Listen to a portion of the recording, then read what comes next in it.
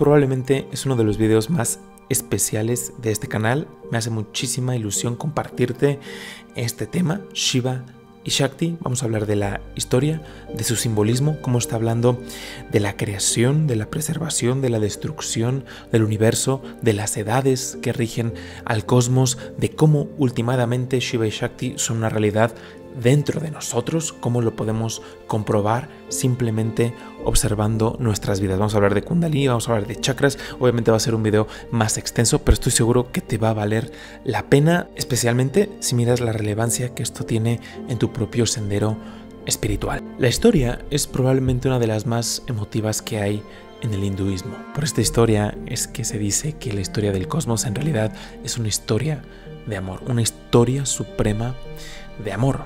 En esencia, y toma esto en cuenta cuando vayas escuchando la historia, Shiva y Shakti representan conciencia y energía. Y se cuenta que en un momento determinado el cosmos era un lugar desértico. El divino principio femenino había abandonado la creación. Shiva en ese entonces se narra que estaba meditando en el monte Kailash, absorto en su verdadera naturaleza, en la cualidad no vibratoria. Shiva significa aquello que no es. Y la combinación de que el divino principio femenino hubiese abandonado el cosmos y que Shiva estuviese completamente absorto reflejaban el estado desértico. El dios Brahma, el aspecto creativo, estaba increíblemente preocupado. Después de todo, a él se le había encargado estructurar, diseñar esta creación, pero no podía. Brahma como creador necesitaba energía, necesitaba variedad, necesitaba fertilidad, porque de lo contrario simplemente tenía un cosmos inerte. Sin el principio femenino, sin la divina Shakti no podía hacer absolutamente nada. Fue preocupado con el dios Vishnu con el preservador. Le dice, a esto le hace falta algo, es un lugar desértico. Por más que yo tenga la facultad creativa para estructurar las leyes, me hace falta algo. Y el señor Vishnu, ecuánime recostado sobre Ananta Sesha, le sugiere a Brahma que vaya con Mahadevi, con la diosa universal, Adi Parashakti. Vishnu le dice que le pida que se encarne de nuevo en la tierra. Brahma inmediatamente acude con Mahadevi, acude con la sagrada energía femenina, se postra ante ella y le explica, le dice, Devi, el cosmos es un lugar desértico sin ti. No hay fertilidad, no hay variedad, no hay belleza, no hay actividad, no hay pureza, no se puede crear absolutamente nada. Todo lo que intento crear simplemente queda en inercia pura. Shiva, a pesar de que está presente, está totalmente absorto en su naturaleza, en Purusha. Te ruego, Mahadevi, te encarnes en la tierra y seas su consorte. Asume una forma que pueda ser la consorte de Shiva. Mahadevi con profunda compasión acepta, pero le advierte a Brahma. Le dice, si no soy respetada, si no soy vista, si no soy admirada, me voy a marchar de nueva cuenta y voy a dejar que Shiva sumerja al cosmos en destrucción y en oscuridad. Brahma le asegura que va a hacer todo lo que esté en sus manos para que esto nunca sea así. Mahadevi se encarna en una prestigiosa familia de brahmines, de sumos sacerdotes. Su padre, de nombre Daksha, era un hijo de Brahma. A los hijos de Brahma se les conocen como los Prajapatis. Brahma creó estas formas para que le ayudasen en la estructura del cosmos. Este hijo de Brahma, este Prajapati, estaba encantado, estaba maravillado con su hija, a la cual nombra Sati. Se dice que la amaba profundamente. Y Sati, desde muy temprana edad, empezó a demostrar cualidades meditativas, incluso ascéticas. Soñaba con la presencia de un hombre de un tono azulado, vestido como una seta, en un profundo estado meditativo. Conforme pasaron los años, Sati se obsesionó con este hombre que la visitaba en sueños. En medio de la noche se despertaba y sin quererlo, sin pensarlo, simplemente se sentaba y lo único que podía decir era Shiva, Shiva. Cada noche era lo mismo. Con el tiempo, este Shiva se transformó en Om Namah Shivaya, Om Namah Shivaya, cada noche. Su padre Daksha sabía perfectamente quién era Shiva, pero él era un sumo sacerdote, era increíblemente orgulloso, la tierra entera le rendía culto y a Shiva lo veía con muy malos ojos. A medida que Sati iba pasando cada vez más noches de esta manera, él se dio a la tarea de buscar a un marido. Sin embargo, Brahma inmediatamente fue a convencer a su hijo de que Shiva no solo era una buena opción, sino que era la mejor opción. Brahma aquí asume un rol de, de, Cupido porque también va con Shiva. Shiva no se despertaba de su estado meditativo, va y le pide, le suplica, le dice, mi señor Shiva, te suplico aceptes a una consorte, así como yo tengo a Sarasvati, así como Vishnu tiene a Lakshmi, te suplico tú aceptes a una consorte. Shiva abre sus ojos y le dice que solo podía aceptar a aquella que tuviese cualidades tanto ascéticas porque de esa forma iba a poder comprenderlo, pero también que cumpliera sus deberes en el mundo, que fuera el equilibrio perfecto entre ascetismo y deberes. Y Brahma, a sabiendas que Sati era una encarnación de Mahadevi, de Adi para Shakti, le dice, ella es perfecta, ha nacido con esas cualidades, simplemente visítala, obsérvala y toma tu decisión. Cuando Shiva se decide ir a buscar a Sati, se la encuentra meditando profundamente debajo de un árbol y al lado de una linga. Las lingas son las formas que representan este principio creativo, que representan a Shiva, a Purusha. En ese momento, Shiva queda completamente complacido porque contempla la absorción de Sati, no solo la absorción, sino la devoción, todas esas cualidades femeninas puestas en un mismo objeto, en Shiva. Se acerca con Sati la bendice y decide hacerla su esposa. Y en el momento preciso en el cual Shiva y Sati contraen matrimonio, se dice que la tierra prolifera. En ese momento que la conciencia toca la energía, en ese momento que el espíritu toca la naturaleza, el cosmos es luminoso de nueva cuenta, vibra con fertilidad, con variedad. De esta unión se cuenta cómo nace el éxtasis divino. Pero a pesar de esto, el padre de Sati, Daksha, seguía viendo a Shiva como muy mala opción, lo seguía viendo como algo inferior, como una seta, como alguien sucio que de ninguna forma era digno de su Sati y se sentía terriblemente avergonzado. Así que la cosa escala escala en el momento en el que se planea un ritual de enormes proporciones. Este ritual iba a ser dirigido por Daksha, el padre de Sati. Una vez ya estaban todos juntos para llevar a cabo este ritual, entró a la asamblea. Absolutamente todos los que estaban ahí presentes se levantaron para reverenciar a esta personalidad, excepto su padre, Brahma y Shiva. Ambos permanecieron sentados. Mientras Daksha Prajapati iba caminando hacia el altar, inmediatamente fue, juntó sus manos y se inclinó ante su padre, ante Brahma. Brahma le bendijo y después le mostraron su asiento. Daksha, al darse cuenta que Shiva estaba ahí y que no se levantó para ofrecer sus reverencias, enfureció. Internamente pensó, ¿qué se cree este tipo? Soy el padre de su esposa. Me obligaron casi casi a darle la mano de mi hija y aún así estando aquí, no se levanta y no me reverencia. Todos los sabios, todos los brahmines están aquí. Y este trepador me ha insultado delante de todos. Me rogó por la mano de mi hija y yo se la di. Pero no muestra la reverencia debida a un suegro. Debería tener yo la posición de un gurú para él. Pero este tonto ni siquiera se levanta cuando yo entro. Es arrogante. Me arrepiento profundamente de haberle dado la mano de mi sati de mi hija. Y mientras la mente de Daksha seguía, estos pensamientos, su, memoria y su imaginación solamente eran combustible en el fuego de su ira. Llegó un punto en el que no aguantó más. Explotó, se levantó de su asiento y exclamó frente a toda la asamblea. Este es un desvergonzado, es un idiota con ojos de mono. Darle mi sati fue como enseñarle los Vedas a un imbécil. Ya todos sabemos de este hombre, siempre está rodeado de criaturas abominables, su cabello es salvaje, está todo enmarañado, su cuerpo está cubierto por las cenizas de los muertos, usa huesos humanos y calaveras como guirnalda, parece más un rey de fantasmas y duendes. A veces se ríe sin motivo, parece un loco y luego solloza. Se llama a sí mismo Shiva el auspicioso, pero es a Shiva, lo opuesto a lo auspicioso. Siempre está fuera de sí. Mírenlo.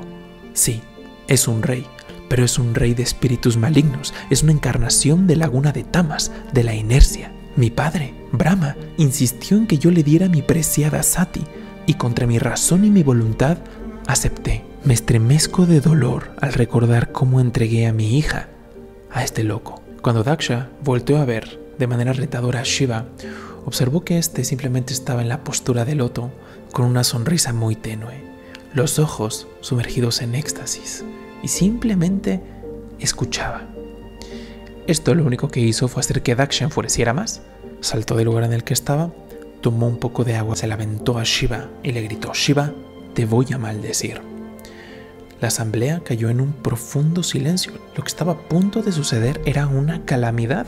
Jackson no estaba en sí, no sabía lo que estaba haciendo ya. La ira lo había consumido. Con el fuego de la ira en sus ojos, Daksha se dirigió a Shiva y le dijo, de ahora en adelante, cuando todas las deidades sean reverenciadas, se les practiquen honores, se les practiquen rituales, tú no vas a recibir absolutamente nada. Después de dirigir esta maldición a Shiva, el Prajapati, Daksha, salió furioso de la asamblea. Todos los que estaban ahí se quedaron conmocionados y en silencio. Nadie sabía qué hacer, porque sabían lo que se avecinaba. Nandishwara, un sabio que se le representa como el toro de Shiva, se enteró de la maldición. Con severidad, Nandishwara dijo lo siguiente.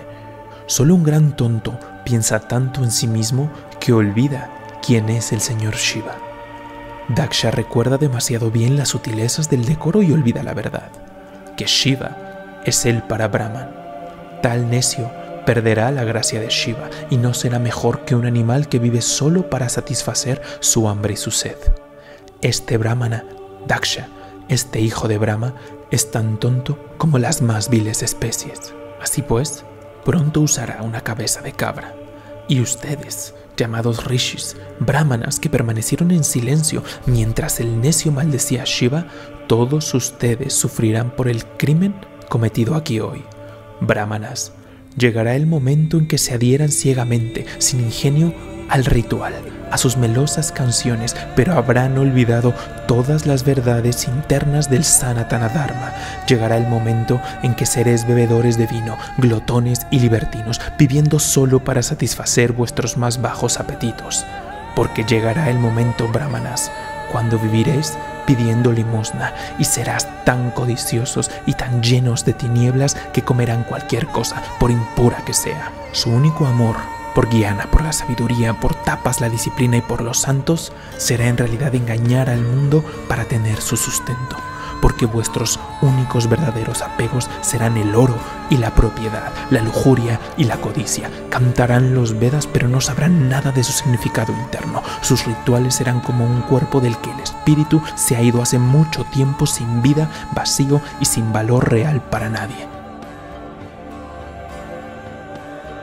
Y una vez que Nandishwara terminó, Brigu, uno de los brahmines ahí presentes, se levantó y en turno dijo otra maldición.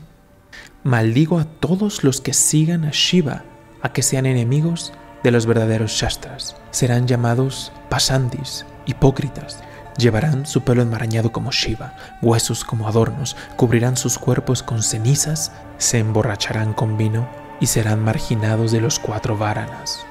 Nandín denuncia el camino de los Vedas, el camino de los Brahmanas, que ha sido el único camino verdadero de este mundo. Por lo tanto, los seguidores de Shiva serán conocidos como herejes, impuros y rechazados por los hombres decentes en todas partes. Todos ellos serán poseídos y gobernados por Laguna de Tamas, Laguna de la Inercia. Y se cuenta como, mientras Brigo concluía, Shiva se levantó no dijo ninguna sola palabra, no enfureció, no hizo absolutamente nada. Simplemente se describe que con una mirada profundamente triste abandonó la asamblea. Y estas maldiciones, cada una empezó a tomar su curso. A día de hoy, vemos cómo es una realidad esta historia. En todas las religiones, sin excluir el, hinduismo ni ninguna de sus ramas, vemos cómo estas maldiciones son una realidad. Vemos también cómo a muchos de los discípulos de Shiva se les juzga de cierta manera, muchos otros incluso pues cumplen perfectamente bien este perfil. Pero hay un profundo simbolismo detrás de esta historia. No todos están maldecidos. Si te das cuenta, las maldiciones están fundamentadas tanto en el orgullo, en la soberbia y en la ira. Cuando el corazón y cuando la mente del ser humano es víctima de estas tres, estas maldiciones toman lugar. No importa si hacemos rituales, si pertenecemos a alguna institución o si somos devotos del mismo Shiva. cuando estos tres factores toman presa nuestro corazón y nuestra mente, lo único que vamos a experimentar fue lo que escuchamos y hoy es una realidad. Sin embargo, se describe que el antídoto es purificar al ser, purificar la mente, a las emociones en el fuego divino de la sabiduría y la devoción. Una vez todo sentido de ira, una vez todo ese, todo ese orgullo, toda esa soberbia se va purificando, resplandece, brilla la presencia de la divinidad como tú la concibas y trasciendes esa selva teológica, trasciendes esas ganas simplemente de aparentar religiosidad, de aparentar sabiduría, lo cambias por auténtica sabiduría, auténtica devoción. Por eso es muy importante eso que hace Shiva al final. Guarda silencio, se va triste increíblemente triste, pero en silencio.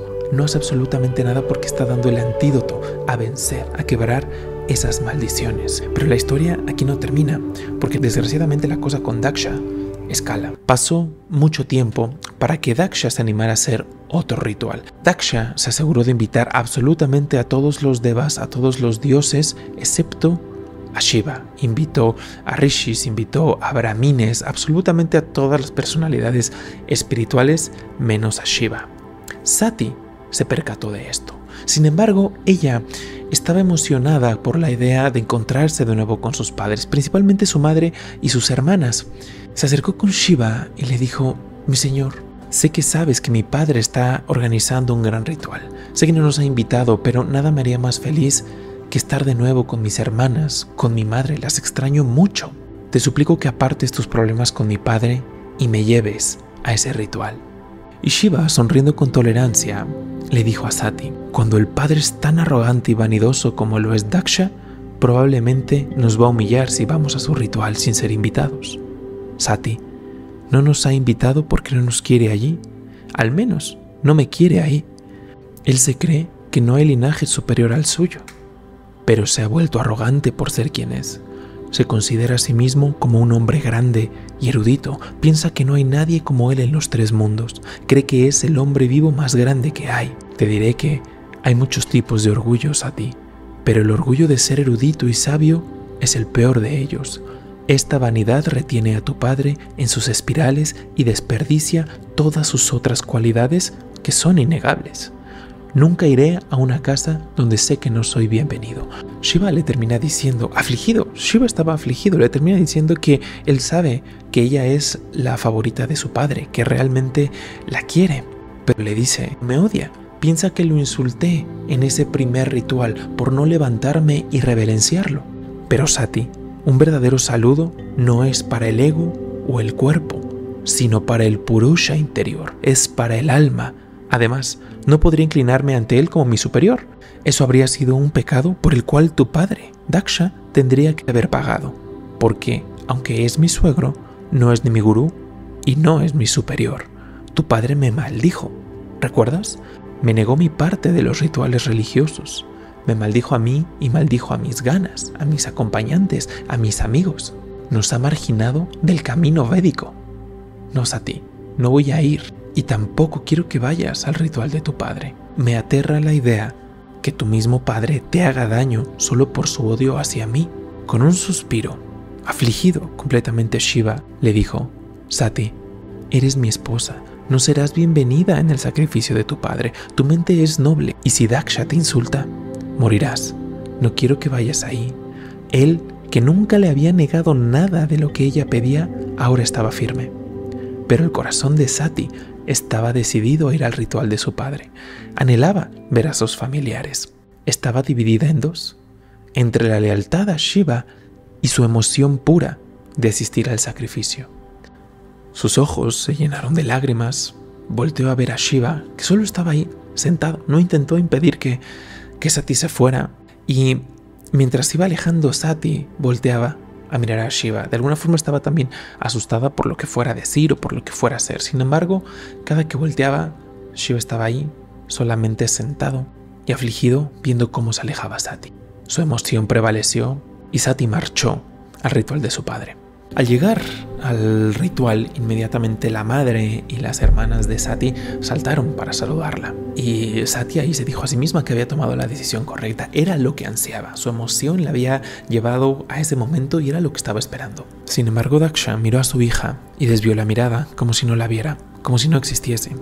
Su madre y sus tías trataron de restarle importancia a este insulto abrasador. Sus hermanas, por su parte, no paraban de abrazarle, de besarla. Pero Sati los ignoró. Miró a su alrededor y vio que no solo no había sido invitado Shiva, sino que no tenía participación en el ritual. No se le iba a ofrecer absolutamente nada. Sus ojos empezaron a arder y en un momento se había transformado en la imponente diosa Durga. Ardiendo, caminó directamente hacia Daksha. Con una voz que resonó en los tres mundos, Sati, en su forma de Durga, se dirigió a Daksha. ¿Quién sino tú insultaría a Shiva aquel que no tiene enemigos. Oh celoso y pequeño Daksha, estás tan lleno de vanidad que ya no puedes ver la verdad. Odias a Shiva, cuyo mismo nombre destruye los pecados de cien vidas. Encuentras tu dignidad en odiar al Señor del universo. Tenía los ojos enrojecidos. Era como una llama terrible, pura y sin humo, dispuesta a consumir el universo. Qué tonto eres, que te haces enemigo del amo del cosmos. Hay tres tipos de hombres, Daksha, siendo el más bajo el asado. Este solo ve las faltas en los demás hombres y nada, nada bueno.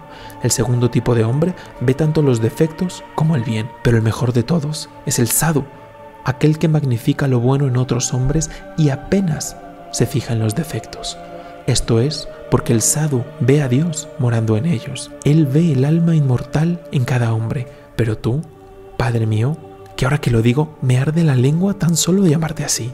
Eres más bajo que lo más bajo. Ves faltas y solo faltas en aquel que no tiene faltas. Pues Shiva es perfecto. Shiva está por encima de odiarte por lo que le has dicho, por maldecirlo. Pero yo no. Mi esposo es el auspicioso. Él es, en verdad, Shiva. Ay de mí que he nacido de un desgraciado que odia a Shiva, que lo maldice. Mi esposo me advirtió que no viniera a este yaña, pero yo no lo escuché. Por el poder de mi emoción caminé cegada a tu ritual. Este cuerpo dejará de ser ya la vasija que me soporta a mí, la consorte de Shiva. Naceré de nuevo de un padre que pueda respetar y que ame a mi Señor. Entonces seré de nuevo de Shiva, esta vez para siempre. Y en este momento culminante se describe como Sati, enfurecida, asumió la postura de meditación. Por medio del pranayama, concentró todo su ser en Shiva. Todo el lugar entró en llamas y Sati dejó su cuerpo. Un rugido de dolor resonó en el cielo y en la tierra. Narada Rishi, profundamente afligido, marchó con Shiva. Llegó al monte Kailash, lo vio en postura de meditación.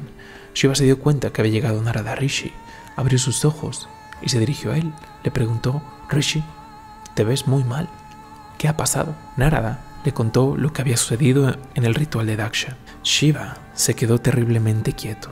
La única señal de ira fue que sus labios se torcieron y sus ojos se habían vuelto del color de la sangre. Sin ninguna palabra, sacó un mechón de su cabeza y lo estrelló contra el suelo. Hubo un trueno, un destello cegador de luz y una forma grande y terrible se adelantó. Este era Virabhadra, uno de los aspectos más temibles de Shiva. Marchó al ritual y lo consumió absolutamente todo le quitó la vida a Daksha y a los principales brahmines que estaban ahí.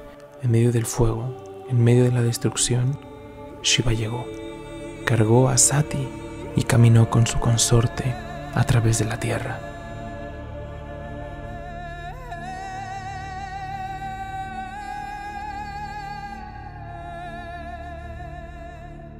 Al volver a Kailash, simplemente se sentó en la postura de loto y se refugió en la eternidad.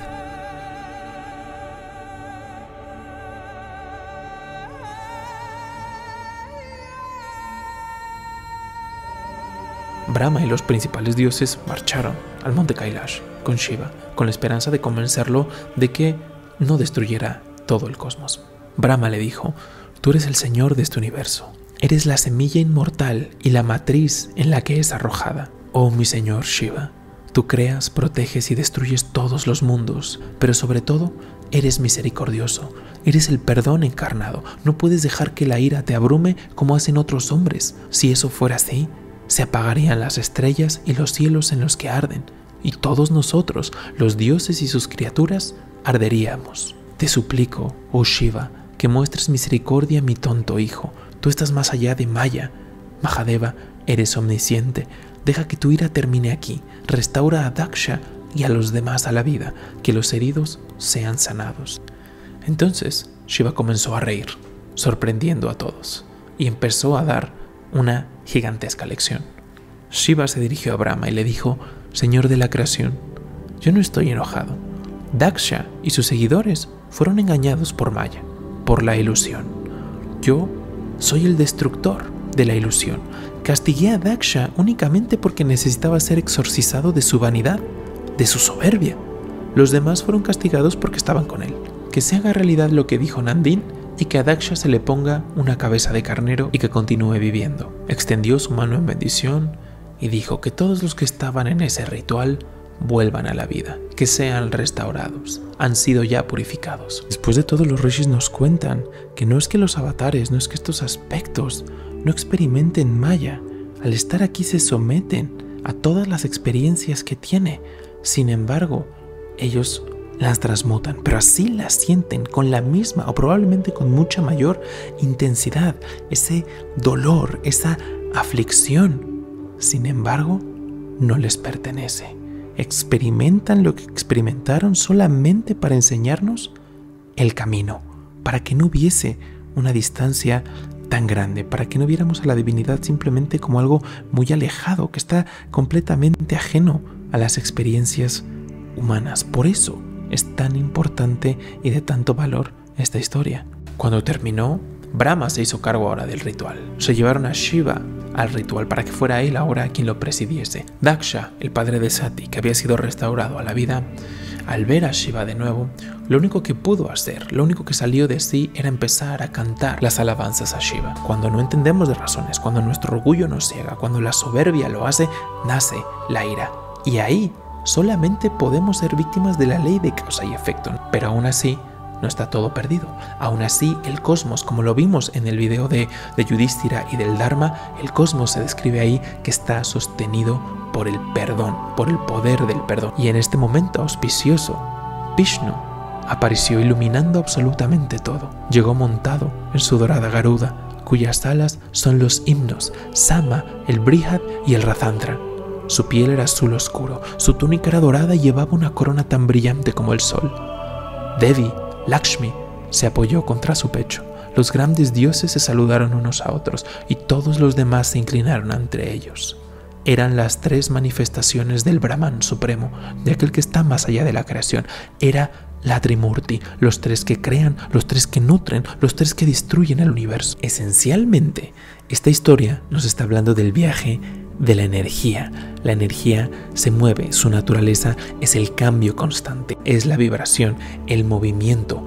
La conciencia, por otra parte, es ecuánime, no tiene movimiento. Esta se mantiene siempre imperturbable. Esto no quiere decir que una sea superior a la otra. Estamos hablando de comportamientos diferentes, ambos necesarios para que exista una creación.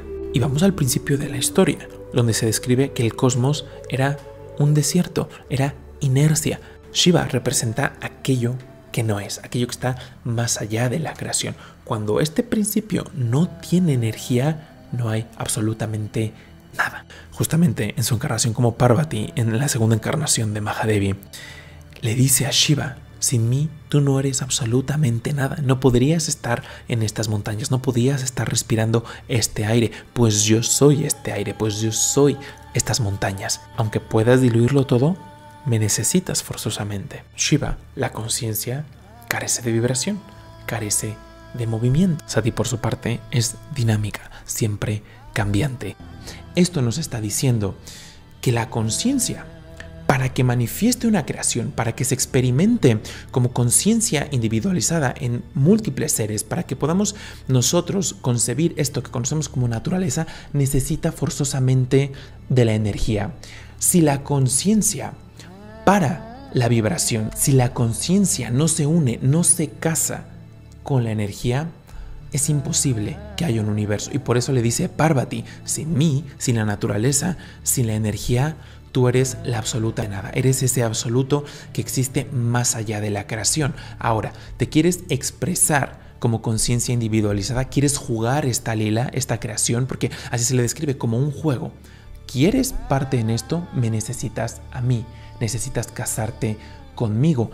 Este es el matrimonio de Shiva y de Parvati. Nosotros como seres humanos se dice que somos conciencia individualizada. Sí tenemos una parte de Shiva, pero al mismo tiempo estamos permeados y experimentamos nuestro alrededor gracias a Parvati, gracias a Shakti. Esta creación, en última instancia, se dice que es el viaje de Shakti, es el viaje de Sati a través de la conciencia. Ilusoriamente pareciese que a veces está más cerca o más lejos. Siempre está unida a Shiva, siempre está unida a la conciencia, pero en apariencia, por el poder ilusorio de Maya, esta aparenta estar a veces más cerca y a veces más lejos. Esto en el hinduismo se le llaman las gunas de Prakriti. Propiamente hay tres gunas. Una elevadora, aquella que está más cerca de la conciencia, que se llama sattva, es la pureza, las virtudes más elevadas. Es la guna purificadora. La siguiente es rayas, es la actividad, la fertilidad. Esta guna puede conducirnos hacia sattva, laguna de la pureza, o nos puede degradar a laguna de tamas, laguna de la oscuridad, laguna de la inercia, laguna de la ignorancia. Tienen muchos matices las gunas. Se habla de que todas ellas, para que exista esta creación, son fundamentales toda la naturaleza, toda Prakriti, desde el macrocosmos hasta el microcosmos del ser humano, es una combinación de estas gunas. En el ser humano es trabajo espiritual ir trascendiendo de la guna oscurecedora de tamas hacia la laguna elevadora de sattva. En esta unión, en el momento que Shiva observa a Sati meditando en la linga, se dice lo primero que surge es compasión, amor, paz, las cualidades más nobles, las virtudes más grandes. Poco a poco, conforme va avanzando, conforme se va haciendo más dinámica, conforme vibra, las formas se van haciendo más densas. Surge así laguna de rayas, laguna de la activación. Y hasta el final, en ese momento último en el que Sati va a dejar su cuerpo, que se siente insultada, que se siente pisoteada, maltratada, porque se insultó a la conciencia, Shiva Ahí es cuando surge laguna oscurecedora de Tamas, laguna de la inercia.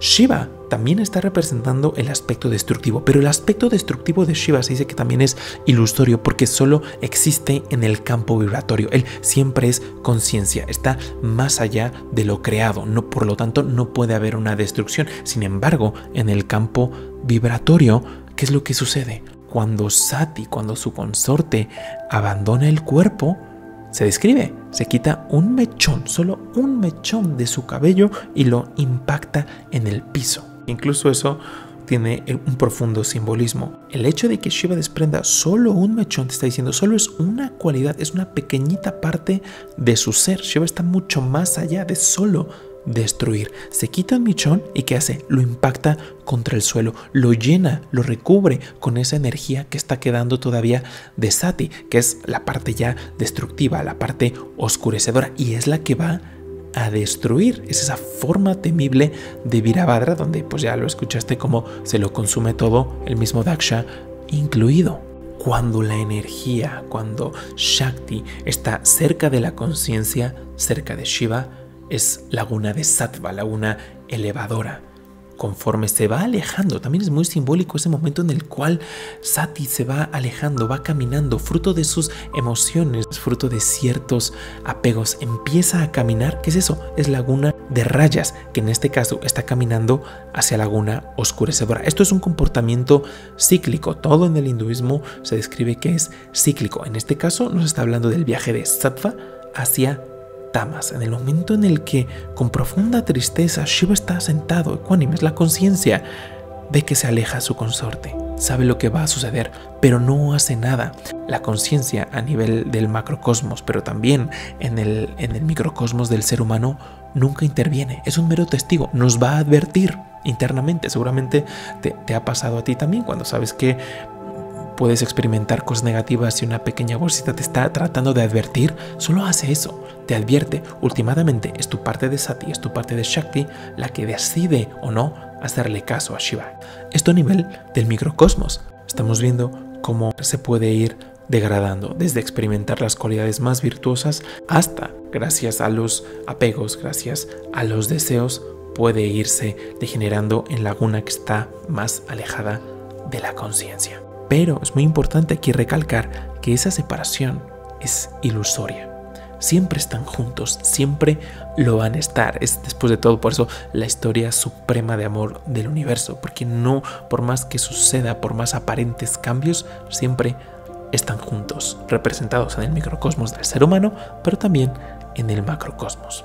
Sati ilusoriamente también se ve imposibilitada a permanecer con Shiva, porque su naturaleza es dinámica, su naturaleza es vibratoria, siempre cambiante. Más adelante, cuando está en su estado de Parvati en esta segunda encarnación, se dice que Shiva le está enseñando, le está impartiendo instrucciones espirituales y le dice, déjate llevar comprende quién eres realmente. Y aquí Parvati, mientras se va dejando llevar, va experimentando absolutamente todas las emociones y su forma va cambiando hasta llegar a la diosa Kali, que cuando Kali amenaza con destruirlo absolutamente todo, el mismo Shiva se tiene que poner a sus pies para que no lo, para que no lo consuma toda la creación. Shiva se tira al piso y cuando el pie de Kali toca el pecho de Shiva, es que vuelve a la conciencia. Cuando la naturaleza toca al infinito, es subyugada. Te voy a dejar el video de Kali en la descripción, por si no lo has visto, tienes que verlo. Ahí nos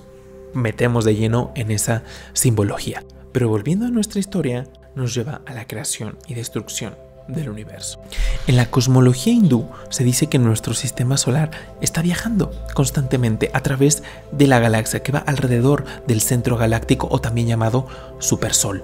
Cuando nosotros, cuando nuestro sistema solar se aleja de este supersol es que vamos hacia las edades oscuras y estas edades se llaman yugas y corresponden a dos ciclos, uno ascendente y uno descendente. El primer yuga, el más bajo, la edad oscura, se conoce como Kali Yuga, la edad del materialismo, la edad de la ignorancia, la edad en la que los seres humanos estamos 100% apegados a nuestro cuerpo, somos presos de los instintos únicamente. De ahí evolucionamos hacia la era de Dwapara Yuga. Dwapara Yuga se dice que está marcada por el desarrollo tecnológico. Poco a poco los seres humanos vamos trascendiendo la parte instintiva y vamos descubriendo cualidades superiores. De Dwapara Yuga viajamos hacia Treta Yuga. Se dice que esta es la edad del pensamiento. Los seres humanos descubrimos leyes sutiles. Poco a poco las cualidades son cada vez más virtuosas. Esta edad de pensamiento culmina en la edad de oro, Satya Yuga, la edad espiritual. El Dharma reina en esta era. La mayoría de los seres humanos son virtuosos, están impermeados del Dharma, de las virtudes más elevadas. Pero la segunda mitad de Satya Yuga es descendente. Poco a poco la conciencia del hombre va descendiendo de forma gradual. De Satya regresa a Treta Yuga, de Treta Yuga a Dwapara Yuga y culminamos de nueva cuenta en Kali Yuga. En el punto más alejado de ese supersolo, de ese centro galáctico, estamos en Kali Yuga. Conforme poco a poco vamos regresando el ciclo ascendente de los yugas, conforme regresamos a ese centro, conforme nos acercamos, es que estamos, entramos, perdón, en Satya Yuga. Volvamos a esa unión inicial. ¿Qué es lo que pasa? Desde ese punto de vista macrocósmico, cuando Shiva se encuentra con Sati, cuando la ve meditando en ese linga, las, surgen las cualidades más puras, el Dharma, la devoción, el amor más puro que existe, la compasión, todas las cualidades propias de la edad de oro, de Satya Yuga, de laguna también de Sattva, de laguna elevadora, laguna de la pureza, laguna del Dharma. Poco a poco, conforme la historia se va desenvolviendo, cambio, movimiento, agitación. Date cuenta cómo es un proceso gradual. Vamos de Satya hasta Kali Yuga, ese momento último en el cual la misma Sati se asume una forma más, más temible. Y en estos yugas, como ya lo habrás deducido, están profundamente relacionados con las gunas de Prakriti, con las gunas de la naturaleza. En Kali Yuga, ¿qué guna crees que predomina? tamas, la inercia, la oscuridad, el instinto. Poco a poco, conforme las conciencias van evolucionando, conforme nos vamos acercando a ese centro, en Dua Yuga es una combinación tanto de tamas como de rayas y muy muy poquito de sattva. Sattva se le simboliza con la luna, con las fases lunares, como al principio no hay absolutamente nada, pero poco a poco empieza a salir, se va llenando, se va llenando hasta estar en su máximo esplendor en la laguna más elevada. Pero al principio en Kali Yuga hay casi nada de, de sattva y predomina tamas, predomina la oscuridad, la inercia. En Dwapara Yuga sigue en buena parte estando laguna de tamas, pero ya hay actividad, rayas empieza a predominar y hay atisbos de sattva. En Treta Yuga es lo contrario, hay atisbos de tamas, de laguna de la inercia, pero está predominando rayas, la actividad con una buena influencia de sattva, de la pureza. Y en Satya Yuga casi nada de tamas, muy poquito de rayas y predomina con total autoridad laguna elevadora. Y ahora, si recordarás, hablamos de Brahma, de la cualidad creativa de la divinidad. En el hinduismo se describe que Brahma tiene un periodo de vida de 100 años, pero no son 100 años como los nuestros, son cantidades gigantescas de tiempo. Estos yugas, este ciclo ascendente y descendente compone un Mahayuga. 71 Mahayugas, 71 ciclos completos, es un solo Manvantara. Un solo día de Brahma, llamado también Kalpa, son 14 Manvantares. Un solo día, no estamos contando la noche. La noche de Brahma se describe que es una disolución parcial del cosmos. Todas las leyes, todo lo, lo que conocemos como cosmos, se dice que es diluido. Si bien no es una disolución total, la vida como la conocemos es insostenible, es un cosmos desordenado. Esa es la noche de Brahma. Después de esa noche de Brahma viene un nuevo día y así hasta cumplir un periodo de 100 años. Así son las medidas de tiempo en el hinduismo. A Shiva también se le conoce como Rudra, aquel que ruge. Se dice que al principio de la creación hubo una serie de rugidos. Cuando entró en contacto con la naturaleza, con el aspecto vibratorio, es que poco a poco se empieza a desenvolver absolutamente toda, toda la creación. El polvo cósmico increíblemente denso y, caliente se fue transformando en las primeras estrellas. Las primeras estrellas hicieron que surgieran las primeras galaxias, los planetas y así subsecuentemente hasta lo que tenemos hoy en día.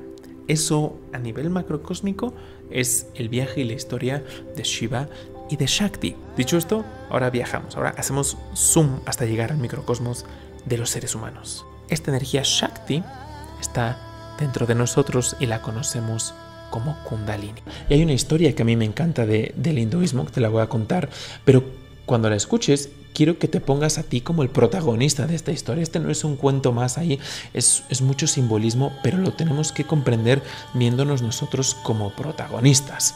Esta es la historia central del Mahabharata y se cuenta, nos habla de cinco hermanos, eh, conocidos como los Pandavas, que se casan con una única mujer de nombre Draupadi. Estos cinco Pandavas están representando los cinco primeros chakras: Muladhara, Swadhisthana, Manipura, Anahata y Vishuddhi en la garganta. Y Draupadi, la esposa de los cinco Pandavas, es Kundalini, esta energía que fluye hacia abajo o hacia arriba. Pero al mismo tiempo, estos tenían 100 primos.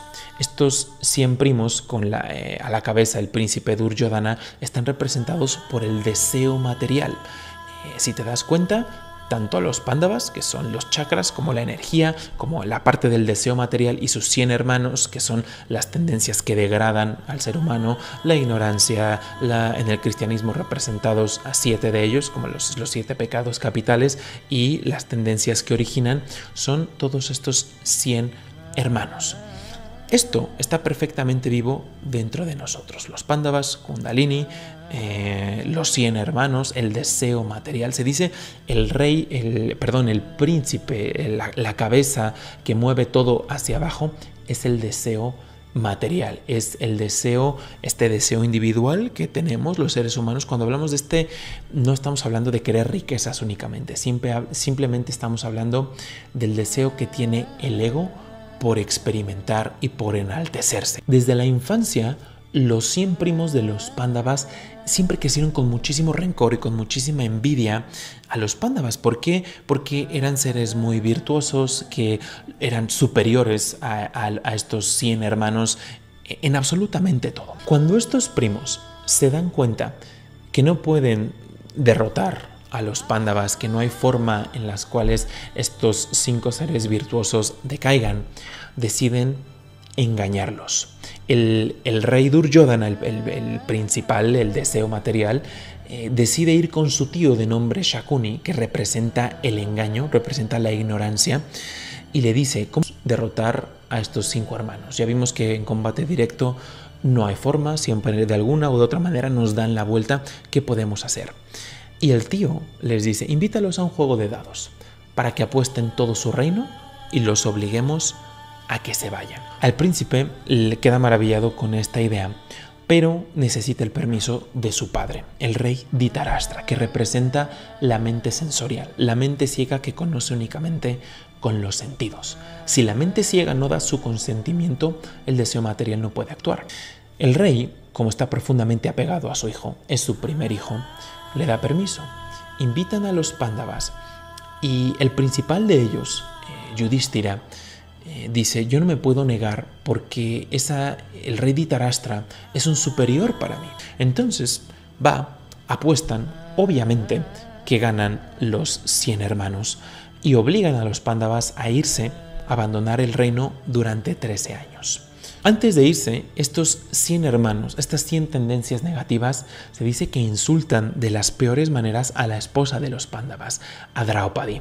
La arrastran por todo el salón en donde estaban, eh, en, donde estaba, en donde fue la apuesta, le, le jalan el pelo, medio la, intentan golpear, la intentan desnudar, solo por, aquí se dice que solo por la bendición de la intercesión de Krishna es que no le, no le quitan toda su ropa, pero le ponen una de las peores humillaciones contadas en el hinduismo.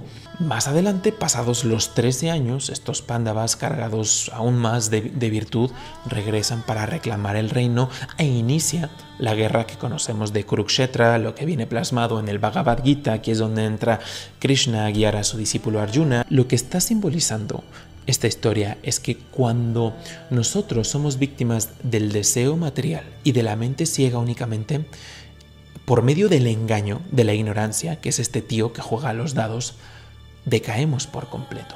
Insultamos nuestra energía kundalini, la arrastramos. Esta energía virtuosa que fluye a través de los cinco principales centros espirituales y sutiles, la insultamos de las peores maneras con todas nuestras tendencias negativas. Nosotros al mismo tiempo que somos los pandavas, somos también y están dentro de nosotros esos 100 hermanos. Por eso es que el sadhana en realidad es una lucha interna, porque son nuestras propias tendencias peleando unas con otras. Los pándavas, ¿qué herramienta utilizan? El yoga, la meditación, el control de la energía vital, que, esta, que la esposa esté solamente con ellos. Pero si son nuestras tendencias, si es la mente ciega la que sucumbe a las peticiones del deseo material, ¿qué sucede con nuestra energía kundalini? Está en el piso, está en el suelo, únicamente está en esta conciencia de individualidad, de querer acumular a nivel externo, no importa si son emociones, si son cosas eh, físicas, si es eh, dinero, lo que sea, estamos insultando esta energía. La mayoría de las personas cree que empiezan a trabajar la energía kundalini con este y con el llamado kundalini yoga y quieren hacer cada vez técnicas más complejas de meditación o pranayamas cada vez más complejos, pero jamás caen en conciencia que a lo mejor están meditando media hora, pero el resto de las horas tienen su energía por los suelos. Por esto es que el sadhana, el sendero espiritual, no nada más se da en una meditación, en una práctica de 21 días o en un festival. Va de conciencia en toda nuestra vida, en empezar a hacernos conscientes de cómo estamos mal utilizando nuestra energía. Si retiramos la conciencia de Shakti, de nuestra energía individualizada como Kundalini, ¿qué pasa? Compulsión simplemente nos comportamos en piloto automático. Cuando traemos esta parte, cuando traemos la conciencia, cuando traemos este aspecto de Shiva, esta energía se purifica y alcanza su máximo potencial. Es el flujo ascendente y descendente de la energía kundalini a través de los chakras lo que nos permite experimentar la realidad. Una de las bases del sendero espiritual es hacernos conscientes de este flujo para más adelante con sadhana, con disciplina espiritual, con herramientas como la meditación yógica, que se dice que nos vamos haciendo conscientes de esta energía y lo que queremos es dirigirla hacia arriba, cada vez más enfocarla hacia arriba, porque esto es lo que abre la puerta del desarrollo espiritual. Cuando la energía kundalini está adormecida o simplemente fluyendo de manera incesante hacia el plano externo, se dice que el ser humano entra en ciclos compulsivos. es muy importante observar nuestra estructura. En las escrituras del yoga se habla de una columna vertebral astral de nombre Shushumna y al lado hay dos corrientes, Ida y Pingala. Son estas corrientes de ida y Pingala las que hacen que la energía kundalini fluya de arriba hacia abajo. Insisto, el objetivo del practicante espiritual es hacerlo a conciencia. Visualízalo ahora mismo. Esto te va a ayudar mucho en tus prácticas espirituales. Visualiza esa columna astral compuesta de luz. Visualiza los siete chakras y al lado de cada uno de ellos estas dos corrientes, ida y píngala fluyendo. Un ejercicio espiritual muy bueno en primeras instancias es visualizar la energía kundalini adormecida en el coxis y con cada respiración visualizar cómo fluye hacia arriba y después hacia abajo. Es un ejercicio fantástico. Muchos de ustedes conocerán el otro ejercicio en el cual empezamos por tapar cada uno de los orificios nasales y hacer respiraciones. Los miembros de Mitananda vayan a estudiarlo, lo tienen en el módulo 2 en la lección número 7. Practíquenlo visualizando esta energía kundalini. Y después vete al módulo 4 y estudia la lección número 10 de la kundalini y haz la meditación de la lección 11. Si tú estás empezando, empieza por este ejercicio de visualización que te acabo de compartir. Primero, date cuenta del problema, que la mente está para todos lados, que las acciones también lo están, que esa energía está fluyendo de forma inconsciente en muchos casos hacia el exterior, que se identifica con el yo. Yo soy este cuerpo, tengo que mantenerlo, tengo que alimentarlo, tengo que experimentar placer a través de los sentidos y simplemente vivimos en la inconsciencia. Pero ¿qué dice? Hazte consciente, no te apegues. Lleva tu mente al interior, llévala a Shushumna, observa el flujo, observa Ida, observa Y en medio del Shushumna despierta esa fuerza de Kundalini adormecida en el coxis por el poder del pranayama, haciéndote consciente de tu respiración. Despierta ese flujo y hazlo tuyo. Este es el camino de la trascendencia espiritual que nos lleva a las experiencias espirituales. Aquí es en donde se rompe, aquí es en donde se quiebra esa brecha, esa frontera que hay entre conocimiento espiritual, que está únicamente en la mente, y las prácticas que llevan a experiencias por esto es tan importante el tema de la energía kundalini, porque no es para leerlo y no es para practicarlo en la inconsciencia, es para observar. Actualmente, ¿tu energía está adormecida? Empieza por preguntarte eso. ¿Vivo en la parte compulsiva a nivel externo? ¿La estoy desperdiciando? Se dice que estos cinco centros virtuosos y su esposa, la energía kundalini que fluye a través de sus chakras, necesita ayuda de la conciencia, simbolizada por Krishna en esa escritura. Cuando Krishna, cuando la conciencia les ayuda, es que las fuerzas discernidoras recuperan y van a pelear contra el impostor del deseo, contra el impostor del apego que nos hace mantenernos únicamente en ese plano externo. Ahora bien, es muy importante dejar muy claro, tenemos que hacernos cargo de nuestro cuerpo, de nuestra mente, tenemos que cumplir nuestros roles a nivel externo. Para eso obviamente que se necesita que esa energía también fluya hacia afuera, de lo contrario sería imposible esta existencia individual. Sin embargo, no es lo mismo ser conscientes de esta parte y de ejecutar nuestras acciones a nivel externo en conciencia que simplemente dejar que se apodere el ciclo compulsivo en el cual no tenemos idea que la vida y el tiempo nos están pasando por encima. Es muy importante saber lo que estamos haciendo y para qué lo estamos haciendo. Por eso es que empezamos nuestro viaje de la energía kundalini, lo empezamos haciéndonos conscientes de qué es este flujo. Este es un ejercicio para que juegue de tu lado la mente, porque a veces ya sabes, miedos, eh, pensamientos y demás que solamente alejan tu conciencia de la parte espiritual. Aquí estamos haciendo lo contrario,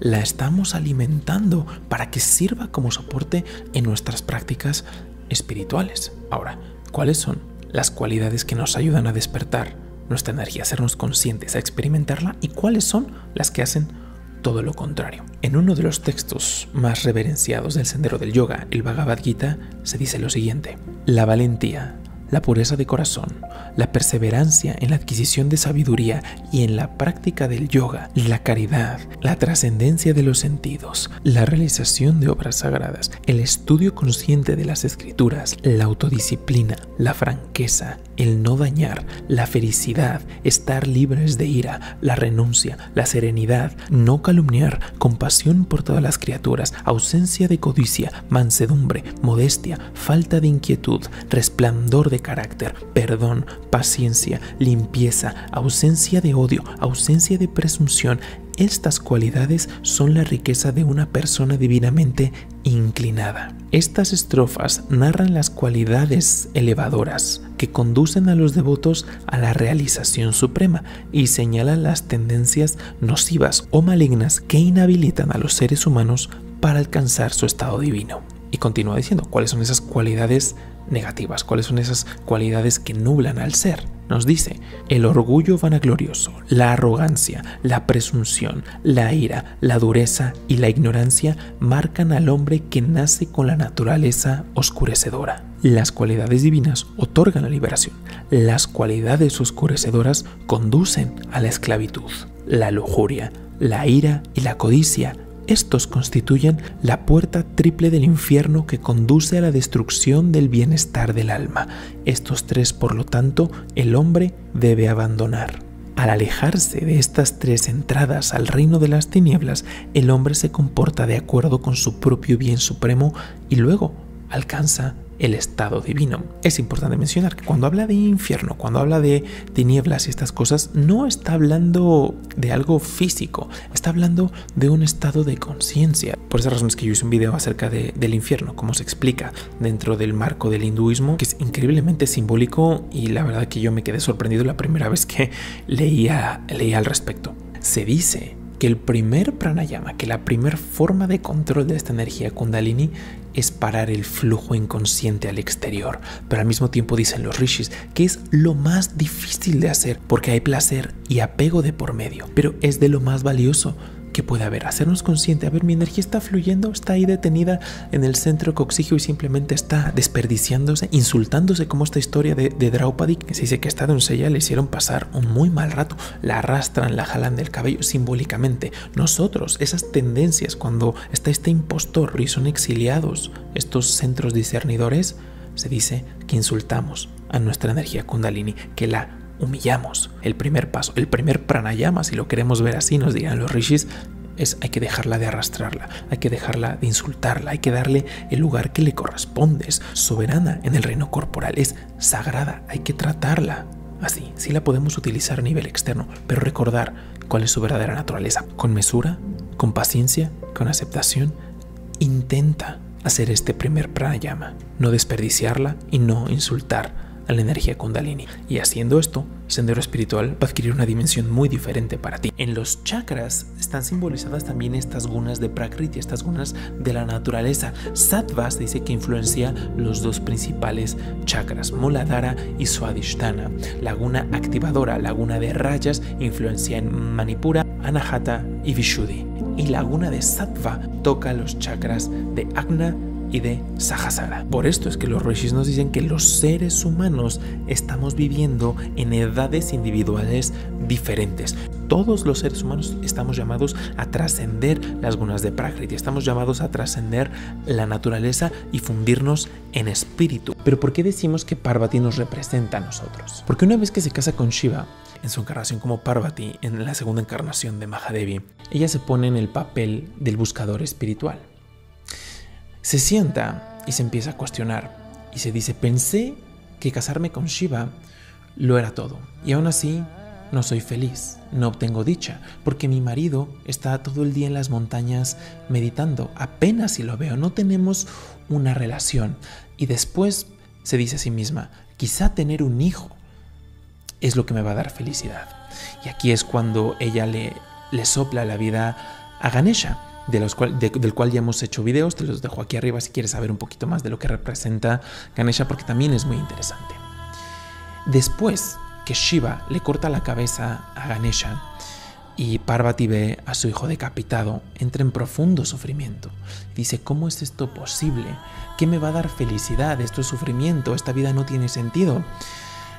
Y aquí es cuando, después de que Shiva eh, recupera a, Ganesha, revive a Ganesha, le pone esta, esta cabeza de elefante y se vuelve el, el dios que todos conocemos, Parvati se sienta a los pies de Shiva y le dice, me doy cuenta que todo lo que he aspirado, desde que me quise casar contigo hasta ahora, no me ha dado absolutamente nada. No obtengo esa dicha que algo dentro de mí me está pidiendo experimentar. Decimos que Parvati nos está representando porque se somete a circunstancias de vida con las cuales nosotros nos podemos identificar. En el momento en el que nos fijamos ciertas metas a nivel externo, ya sea que si queremos casarnos o queremos cosas materiales o queremos tener algún tipo de experiencias que involucren los sentidos, que involucren la energía. Y nos damos cuenta que no importa que vamos logrando objetivos, que lo vamos logrando metas, aún así hay cierta desazón en la vida. Llega el sufrimiento, llega el dolor y decimos, ¿qué estoy haciendo? ¿Qué sentido tiene esto? ¿De qué va la vida? ¿Quién soy realmente? Ya me di cuenta que todo lo que puedo acumular a nivel externo no me trae nada duradero. Me puede traer placer, pero a la larga mm, hay dolor, hay sufrimiento y eventualmente me voy a encontrar con la muerte. Entonces hay un punto en el que todos nos sentamos independientemente de nuestra religión, independientemente de que si tengamos idea o no de Shiva y Parvati, todos en algún punto de nuestra vida tenemos estas preguntas elementales. Por eso es que decimos que Parvati nos representa a nosotros, porque ella juega ese papel y se va a sentar a los pies de su maestro y se plantea las mismas preguntas que nosotros. Distintas circunstancias de vida, pero son las mismas preguntas. ¿Qué sentido tiene todo esto? ¿Qué hago aquí? ¿Cómo puedo liberarme de estos ciclos que, solo, que vamos de placer y dolor? ¿Cómo puedo salir de esta prisión? Y solo hasta este momento es que Shiva le empieza a enseñar. Es que la conciencia ilumina y guía la energía. En un principio la conciencia está ahí, todos la tenemos. Pero ¿qué pasa? Nosotros queremos experimentar con la energía, la queremos manipular, queremos tener diferentes experiencias. Parvati dice primero, me quiero casar con Shiva, Shiva dice, está bien, nos casamos. Después, quiero un hijo, ahí está el hijo. Eh, muere el hijo y quiero que lo revivas y Shiva lo revive. Y constantemente Shiva está dejando, la conciencia permite que, que nosotros juguemos en esta lila, en esta creación. Pero llega un punto en el cual todos miramos de vuelta y decimos, ¿de qué se trata esto? Ya me di cuenta que estoy en un ciclo de nunca acabar. No quiero, no estoy conforme. ¿Qué es lo que hago? Aquí es en donde nosotros miramos dentro, miramos hacia arriba y decimos, enséñame, guíame a quien tú quieras, a cualquier aspecto de la divinidad. No importa, insisto, nuestras creencias, pero es ese proceso. Y solo cuando miramos dentro, que nos hacemos estas preguntas fundamentales, es que la conciencia nos enseña, ya sea, que ya sea que esto sea de manera interna o a través de un gurú o a través de escrituras, solo así se da este proceso. No puede ser inducido, no puede ser obligado por algo del exterior. Forzosamente tiene que ser ese momento en el cual tú te sientas y te haces esas preguntas elementales que la conciencia te va a ayudar. ¿A qué te va a ayudar? A dirigir la energía, asimilar en dónde está, en dónde está Shakti, en dónde está esta kundalini interna la identificamos y después, ¿qué hacemos? La dirigimos. ¿Hacia dónde? Hacia Shiva, hacia la conciencia. Este es el nacimiento de los sutras de Shiva, en los cuales Shiva le empieza a exponer a Parvati su verdadera naturaleza. Le dice, Parvati, tú nunca tuviste esa duda. Tú también estabas interpretando un papel por compasión. Entiende, la gente tiene esa duda. La gente se pregunta eso. Tú creaste de ti misma la duda para que pudiésemos responder. Es tal tu amor por la creación que te sometiste voluntariamente a una porción de engaño. Porque sabes que tus hijos, sabes que todos aquellos que están en la tierra, en algún momento esa duda iba a surgir de sus corazones, impidiéndoles el progreso espiritual. Tú creaste todo esto para enseñar a las personas que a Dios no se le puede entender las historias y las explicaciones de la divinidad no se entienden con el intelecto, como tú ya lo ejemplificaste. Se entienden con el corazón, se entienden con devoción. La devoción Parvati es una herramienta fundamental en el sendero espiritual para que las personas experimenten la naturaleza de la divinidad. Yo cuando, insisto, estaba meditando, cerré mis ojos y empecé a, meditar en estos conceptos, me empecé a imaginar, empecé a visualizar los planetas, empecé a visualizar como el agujero negro que está al centro de, de la galaxia, como al mismo tiempo que se lo está consumiendo todo, Shiva esa, misma energía es la que permite que nazcan nuevas estrellas, que nazcan nuevos planetas. Por ende, la vida visualice cómo se está preservando a sí mismo. En lo que se está creando y en lo que se está destruyendo, esa misma fuerza lo está preservando. Estrellas que nacen, estrellas que se apagan, planetas, civilizaciones, todo en constante unión unión, creación, preservación, destrucción. Y cuando mientras yo imaginaba y visualizaba esta danza en mi, en mi aspecto, pues muy limitado todavía, pero escribí estas palabras, escúchense, se los comparto con cariño, no soy poeta ni nada, pero fue lo que surgió de mí. Me dije, esta es la historia suprema de amor, es la danza eterna, espíritu y naturaleza, conciencia y energía, como almas somos testigos de la suprema historia del infinito. Como almas, danzamos alrededor del eterno Shiva y de la divina Parvati. Somos como joyas refulgentes adornando a los soberanos del universo.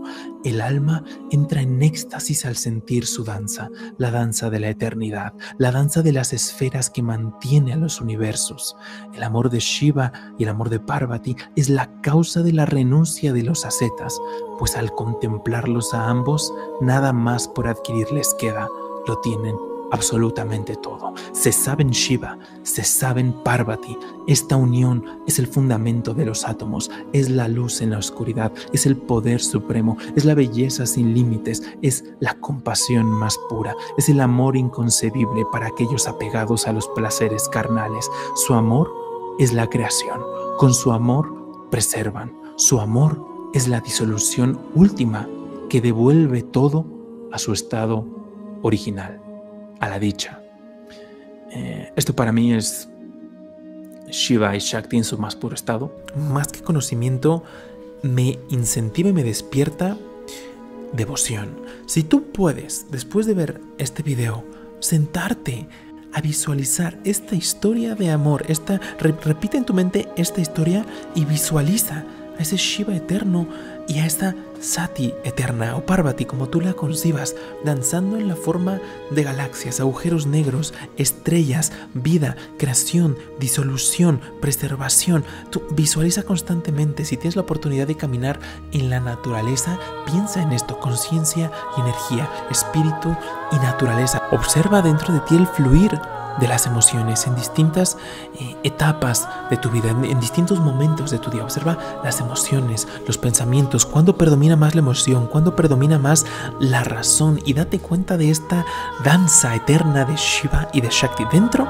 y también fuera de ti. Esto es un ejercicio de sadhana, disciplina espiritual increíblemente valioso porque te permite despertar las cualidades más nobles al tiempo que te identificas, que nos empezamos a identificar con lo que es realmente supremo. ¿Y cómo culminamos este ejercicio?